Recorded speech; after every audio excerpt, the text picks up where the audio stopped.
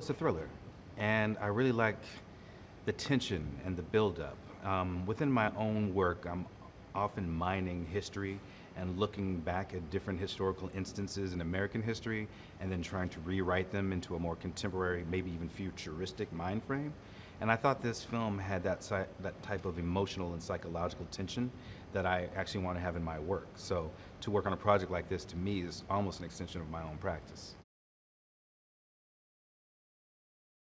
Within my own work, I've been doing paintings on antique quilts, and most of these quilts are from the late 1900s. So I happen to have a quilt dated from 1886 that we used in Eden's cabin.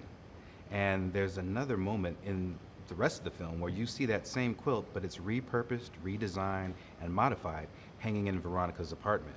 And if you're really paying attention, you could start to see that tie in. And there's a few other elements in the film that work that way. So it's also so there's this visual, almost retinal, subliminal information that's coming at you through every part of the film. And there's moments when you focus on it and don't focus on it, but it adds to that tension. Um, so we really wanted the film to have that type of layered complexity.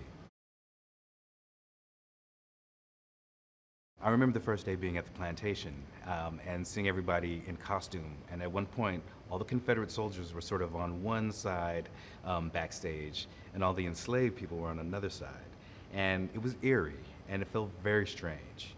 And over the course of the next few days, I started to see those groups mixing and hanging out because why wouldn't they? You know, they're all sim- you know similar age group, all living in the same city. These people would be hanging out otherwise.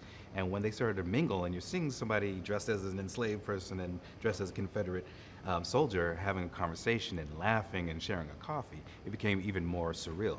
But once again, I think that's the tie into we never really escape our history. It's just what we do with our history. How do we take that into our future?